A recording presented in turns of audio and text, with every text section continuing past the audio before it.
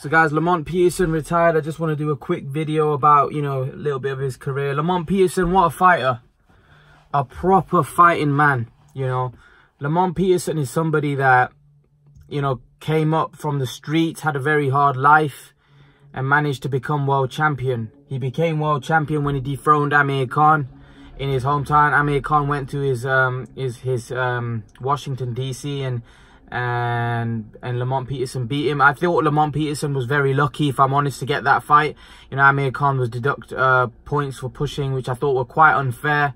Um, and anyway, I thought Khan probably outpointed him. Nevertheless, it was a close fight, and Lamont Peterson got the nod in his hometown.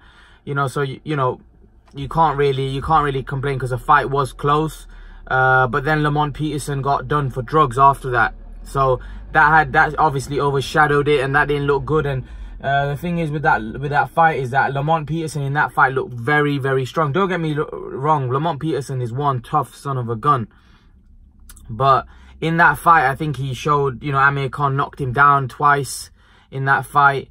Um, and you know the way he came back from and Amir Khan was beating him up in that fight. There was times in that fight where Amir Khan was really putting it on him, and Lamont Peterson, um, Lamont Lamont Peterson came on strong um, came on strong even after taking such a beating. And Khan took a lot of beating in that fight as well. But that wasn't the only fight. Lamont Peterson then got done for drugs. But then afterwards, he fought Danny Garcia in a fight that he lost. But many people, I think he won that fight, right, uh, against Danny Garcia. But he didn't get the decision. And really, he probably you'd probably say that was more convincing than the Khan fight.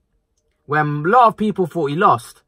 Um, but you know, Lamont Peterson was always a tough, tough guy. You know, he got knocked out to Lucas Matthysse. I remember that fight. And, you know, Lamont Peterson is was a good fighter. Very good fighter.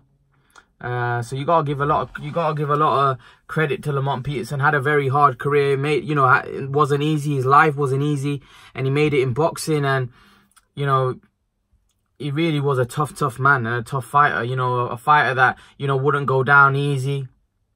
A fighter that would fight to the end had a great chin, had great engine. Um, not the biggest puncher in the world, but definitely could you'd feel his punches. Amir Khan said that he was definitely strong.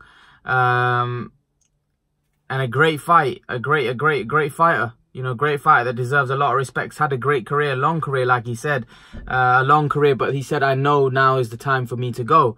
You know, and that's the best thing for a fight. I think it was time for him to go. You know, he's had a great career. He's no longer the fighter he was. And that's with every fight. Every fight is dimini you know, diminishes.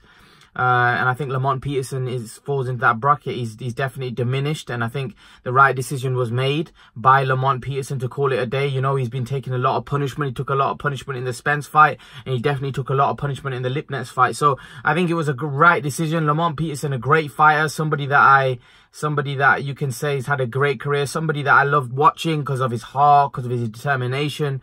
You know, he, he always wanted. He came to win. He's had some great, he obviously beat Amir Khan, which, you know, was at that time was a massive upset. Um, and, you know, he, he should have probably got the nod against Garcia. So, you know, Lamont Peterson was definitely one of the top fighters in around that weight. And, you know, in his heyday, he was definitely a great fighter. Um, so massive respect to Lamont Peterson. Uh, congratulations to him. I hope, I wish him all the best in retirement.